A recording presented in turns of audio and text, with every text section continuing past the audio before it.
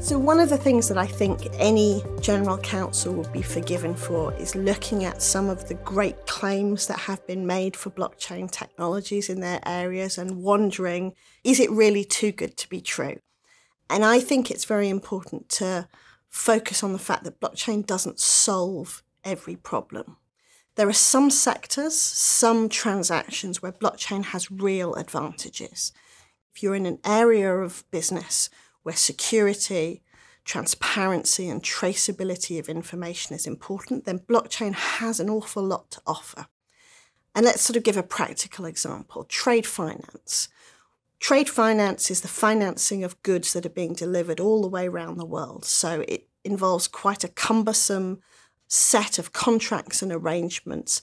One of the issues that both suppliers and the banks that are financing that trade have is not knowing when the goods have been delivered, not knowing if the goods have been delivered in the right condition, and therefore, from the bank's perspective, not knowing if you should actually release the money that relates to that trade. Blockchain solves a lot of those problems. You know because the ledger is instantly updated when the goods have arrived you know if they have been signed off as meeting the specification, and therefore you know that as a bank you can release that money. In fact, in the bank's case, you don't even actually need to do anything.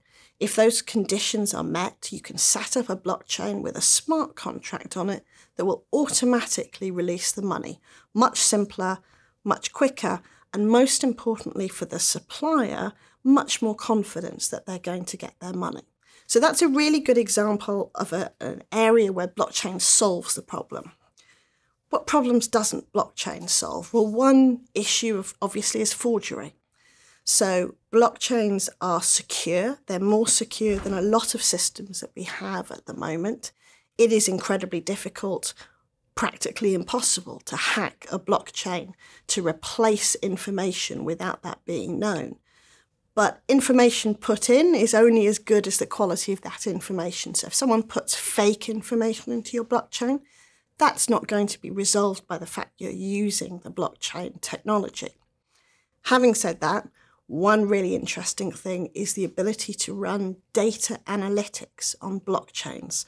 Perhaps slightly easier because you have the data carried together. So there's certainly some quite interesting academic research that I think has the potential to really come into business where effectively you can analyze the data going into your blockchain and pick up forgeries, picking up uh, courses of business that might indicate bad practice more easily, perhaps, than on some existing systems.